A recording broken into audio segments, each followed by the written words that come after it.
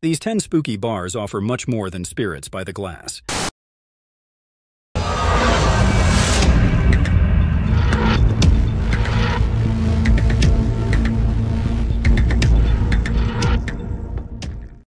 At number 10, Turner's Seafood in Salem, Massachusetts. Turner's Seafood is known for its delicious lobster soup, crab cakes, beer-battered fried fish, and french fries.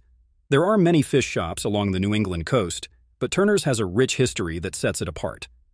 To begin, the restaurant is located in a historic structure formerly known as the Lyceum Hall. Salem's Lyceum Hall, designed after well-known lecture halls in Europe, hosted readings, debates, and music performances and, curiously, was the site of Alexander Graham Bell's first public long-distance telephone conversation in 1877. However, the property's rich history includes another side related to one of America's darkest moments. Prior to the construction of Lyceum Hall in the 1840s, the area was a private apple orchard. However, this was no ordinary apple farm. It was owned by Bridget Bishop, the first woman to be hung during the Salem witch trials of 1692. Bishop was renowned in town for dressing provocatively and engaging into intense fights, which may have caused residents to label her a witch during the trials. Bishop denied the accusation, but her claims of innocence were dismissed. She was charged with witchcraft, convicted, sentenced to death, and hanged. People think Bishop is still haunting the place, and they have seen visions of her ghost in windows and mirrors. The aroma of apples is believed to linger in the air, Number 9. Scarlett O'Hara's in St. Augustine, Florida.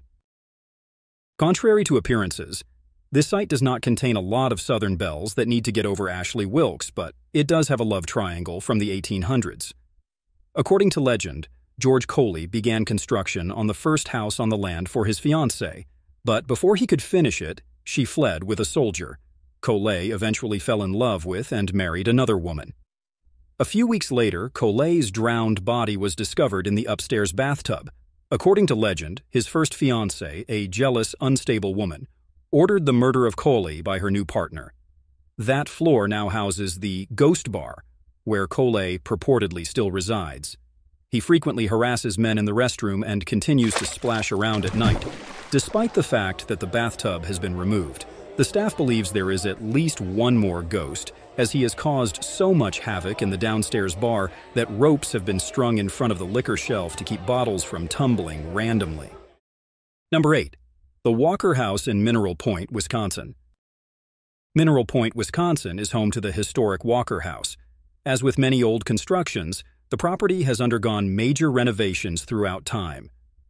What started as a tiny stone lodge built in the 1860s for a nearby miner has grown into a much larger facility that includes a fine dining restaurant, a luxury inn, and a pub. According to eyewitnesses, several ghosts have been sighted inside the structure. According to rumors, one of these spirits is William Caffey, a murderer who was executed nearby. Thousands of people gathered for a picnic as they witnessed Caffey's public execution and death. In 2009, a group of paranormal investigators hired out the building structure to search for ghosts. Unfortunately, neither the audio nor video equipment were able to capture any ghosts. All that was recorded was the sound of the creek and outside traffic. That didn't stop reports of a haunting from spreading, and the new owners appear to be avoiding the building's ominous reputation. The Walker House now offers several accommodation alternatives, lunch specials, and private event space. The Food Network dubbed the restaurant's beef pasty the finest in the area. Filet mignon, spaghetti primavera, and slow-cooked baby back ribs are also available. Number 7. The Court of Two Sisters in New Orleans, L.A. New Orleans, sometimes referred to as America's most haunted city, is known for hosting voodoo rites and sheltering numerous paranormal phenomena. The Court of Two Sisters is a historic edifice in the heart of the French Quarter with a mysterious past. It was founded in 1726 and named for two sisters who co-owned a shop there in the late 1800s. Visitors to the property have still reported seeing the sisters' ghostly figures sitting side by side on the patio off the dining room. With the story of James Cooper, the previous owner of the building, the legend of this old house becomes even more frightening. According to Ghost City Tours, Cooper's wife was discovered murdered and strangled above the restaurant. Cooper was accused with her murder and appeared in court, but the jury found him innocent, Strangely, a short time later, Cooper's body was discovered strangled in a room above the restaurant. Late night voodoo rituals and a deadly pirate duel are also thought to have occurred in the courtyard. The restaurant's exceptional food, which includes specialties such as eggs benedict, delectable gumbo, and shrimp etouffee, more than compensates for the eerie setting. One thing is certain the Court of Two Sisters has you covered whether you're there for the ghosts or the great cuisine. Number 6. Shaker's Cigar Bar in Milwaukee, Wisconsin. The most well known ghosts at Shaker's are two girls from quite different origins. Elizabeth, eight years old, fell from an apple tree on the property in the 1800s and now spends her days giggling in the women's restroom or putting her tiny feet out from beneath the stalls. Molly Brennan, a young sex worker from the 1920s, was murdered in the third floor penthouse because she knew too much. People who have been in her room have reported seeing water flowing from the ceiling and burning walls, which is far scarier than typical post drinks hallucinations. Then there is the basement. But actually, you should avoid going down there. Because the shadow people live there, we'll suppose you'd rather avoid encountering one of their spooky, fully formed black bodies. Originally, the property contained a Schlitz facility that produced the barrels used to brew its beer. In the 1920s, Al Capone purchased the building to use as one of his speakeasies. With drinking and gambling on the lower floors and a brothel on the second and third stories, who knows what else happened there? Its current iteration is the latest in a long line of taverns and bars that have occupied the structure. Number 5. The Grill House in Allegan, Michigan. The grill house, erected in 1836 and resembling a barn home, has a rustic country style that yet feels welcoming, even if it is haunted, as many claim. The grill house is well known for its novel concept, which allows diners to cook various cuts of meat themselves on large griddles. The restaurant's meals are served with an unending variety of sides, including loaded baked potatoes, Texas toast, and salads. However, the grill house is also known for something more darker. According to folklore, a local lumberjack was slain with a knife during a brawl on the land and buried in an unmarked grave outside. The good news is that witnesses claim to have seen the lumberjack's ghost around the property and that he exudes a friendly attitude. Conclusion The Grill House is not only one of the most unique restaurants in the country, but it is also one of the most haunted. After all, where else can you build your own ribeye and possibly meet a ghostly lumberjack? Number 4. Twisted Vine in Derby, Connecticut. Twisted Vine is a haunted restaurant that also conducts ghost tours. It is housed in a former bank from the late 1800s. The Twisted Vine organizes a number of creepy activities, including tours of surrounding haunted cemeteries and a psychic fair with tarot readings. But whence did Twisted Vine originate her interest in the paranormal? It turns out that some really frightening things happened here. A devastating flood that rushed over the neighborhood in 1955, killing nearly 100 people, is a nightmare scenario that will definitely haunt us. Furthermore, the rising water uncovered the coffins of dead bodies in a neighboring cemetery, causing them to float to the surface, similar to the horrible and fabled scene at the end of Poltergeist. The bank was one of the few buildings left standing after the flood, thus the basement served as a makeshift morgue as the city rebuilt.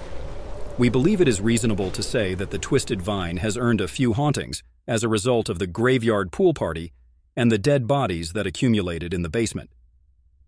Knowing that swarms of waterlogged human bodies formerly floated in the same approximate area while you ate a nice meal like chicken marsala is strangely morbid.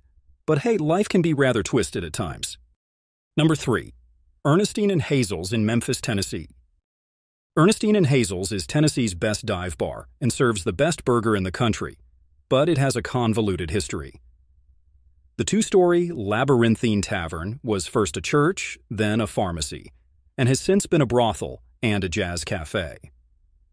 These are enterprises that frequently have a committed following.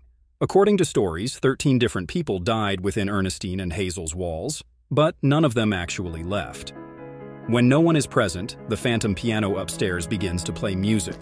Steps can be heard throughout the day and night. Occasionally, the jukebox may start with a needle drop that appears eerily suitable for the current situation. One employee recounts how she and a coworker were discussing James Brown when the jukebox began playing I Feel Good out of nowhere. There are apparitions among the population. Both consumers and employees claim to have received phantom touching. Tragic incidents occurred frequently there, which is likely why some former customers remained. Today, it appears that the burgers are what keeps customers returning. Number 2. White Horse Tavern in Newport, Rhode Island. Let's begin our story with a pair of drifters, like you would with almost any ghost story you heard at sleepaway camp. In the 1720s, two men visited the pub looking for a place to stay the night.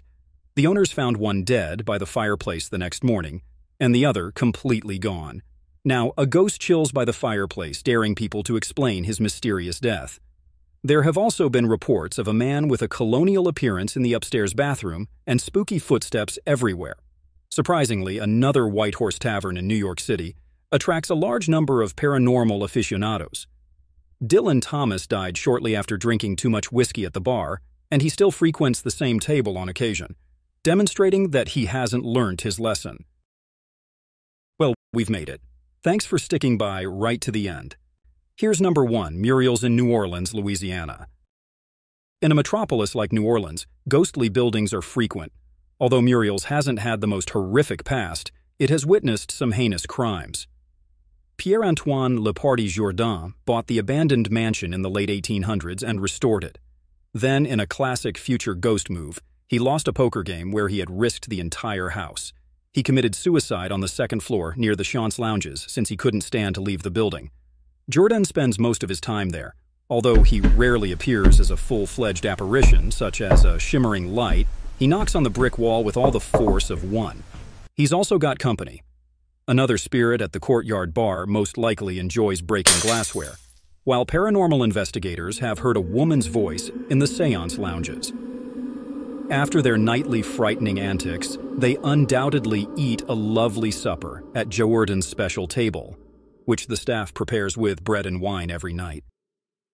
Well, that's it for now. Which is your favorite place? Drop a comment below.